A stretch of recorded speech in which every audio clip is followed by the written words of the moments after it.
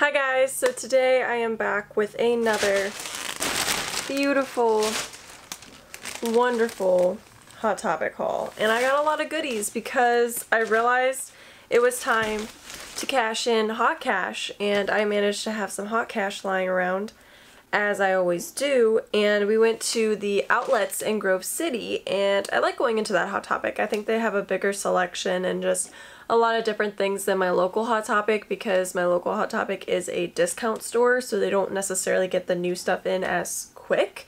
So it was so cool to see some of the stuff that I haven't seen at my store yet and things that I've just found out about or like been wanting and so I'm super excited to have purchased everything and I get to share it with you guys today.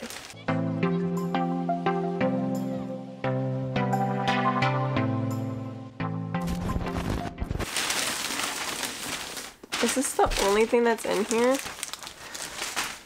Ye gas. Is everything in this little bag then? Now I'm worried. Is this all that I got? I thought that I got more than this. Okay. So the reason why I don't think I have as much is because my mom did get a ornament set and then she got two bags of Hi-Chew candy. That be that be why. But I'm super excited for everything that I got. So the first thing that I got, which the boxes were all kind of damaged. I'm kind of sad, but I might just take them out of box. I'm not sure yet. But I got the Hot Topic exclusive Funko. These used to be, oh, this is the Fantastic Plastic series and um, it is the spicy oodles so it's the spicy cup of noodles and um, yeah, this box is literally so bad. I don't even know why I took this. Like, it's ripped here. They had given us one and the box was all fine, but the image on the front was like ripped, like there was no picture.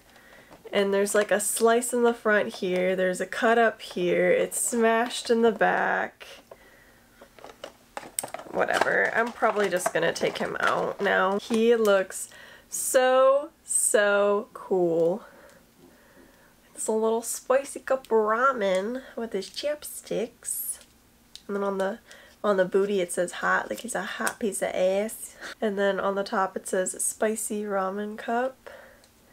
He's literally so cool. I think I'm just to leave him out of box. Then we were at the register. So I'd never seen this one in the store before. I have the two pack of this, but I don't have him by himself. This is How to Train Your Dragon, but for some reason the box says DreamWorks Dragons.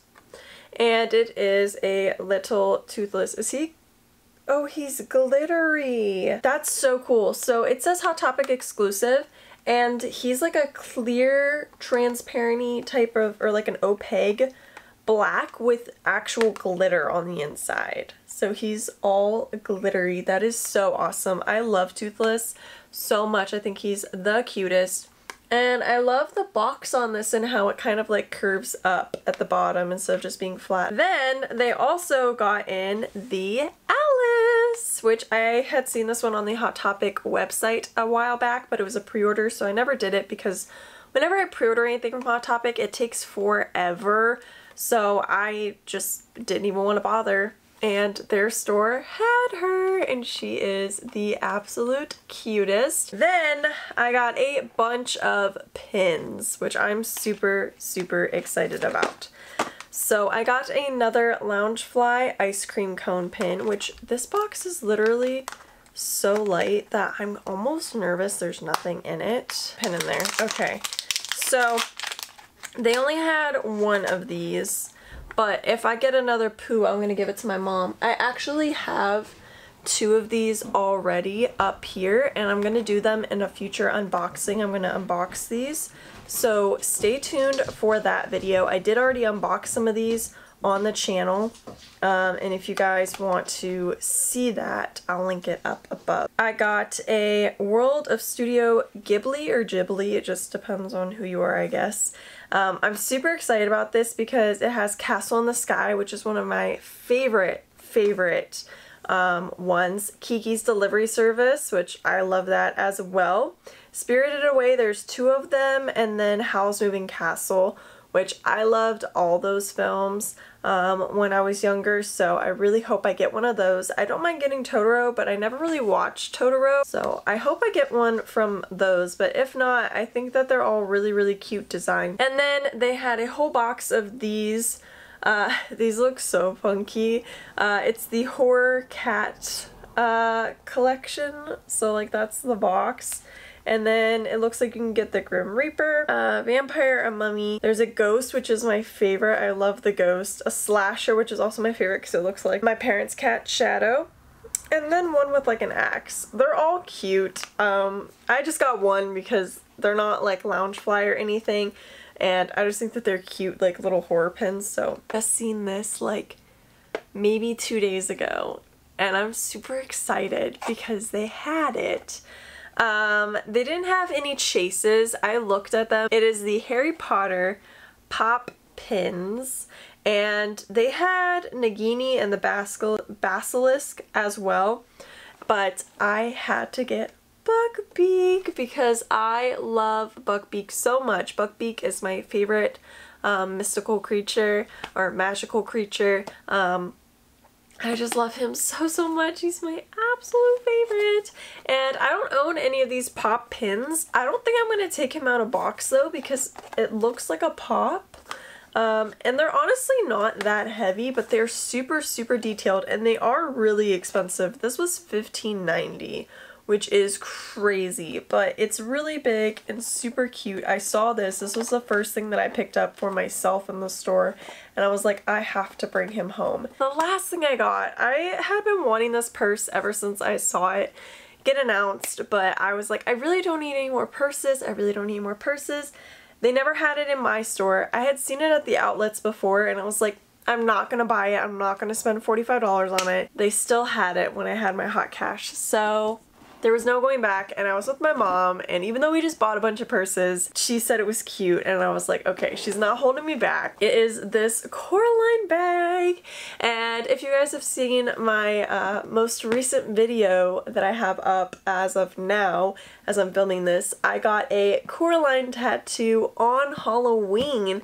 I'll link that up above if you guys missed it, but I'm super excited to have this bag.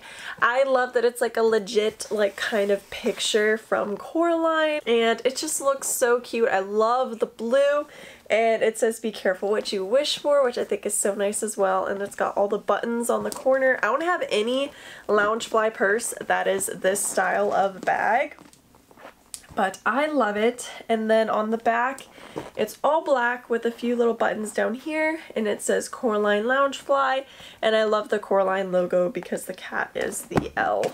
It is the beautiful blue inside and then it does have the crossbody strap as well. I just, they released so much Coraline stuff this year and I'm obsessed with it. I think I got everything. Should we open up these now or should I save them? I think I'll save the horror cat one for that just as like an icebreaker but let's go ahead and actually open up the World of Studio Ghibli um, and see what we get. I really want Kiki's delivery service.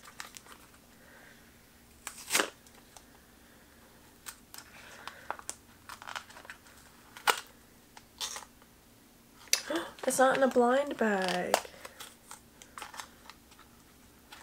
So when you look inside, it's just in there.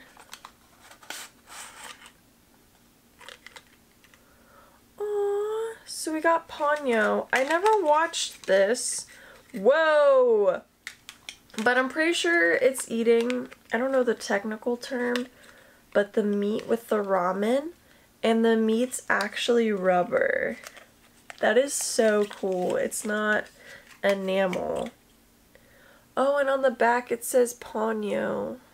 And it's a really nice size. This was $8.90, so same as the Loungefly. Let me know if you guys want me to get more of these and do an entire video on it and just see what we can pull.